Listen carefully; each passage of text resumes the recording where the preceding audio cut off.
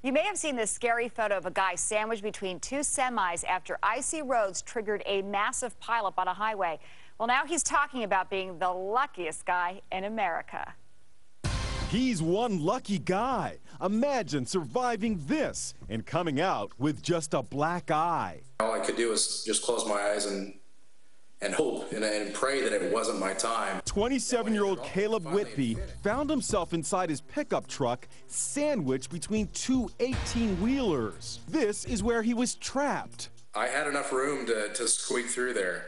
And there wasn't much. It happened in Oregon as icy conditions caused havoc across the nation. Look, a car slides out of control on black ice.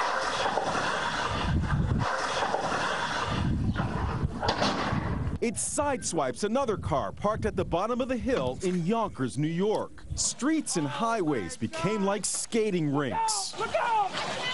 Look out!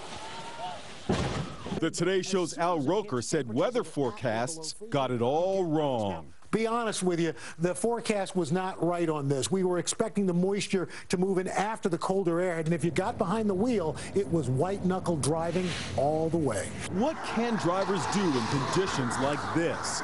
Most drivers try to brake, but car expert Lauren Fix says that's the wrong thing to do. And on black ice, you just skate. There's no, it doesn't matter if you're driving a truck, if you're driving a little car, you're just skating along the ice. So what's counterintuitive is to keep your hands in the wheel, a nice light grip, and just maintain the throttle and try to get two wheels, the two on the one side or the two on the other, in the snow or in the dirt, because then you get at least a little bit of traction rather than no traction whatsoever. That could stop you from ending up in a crash like this.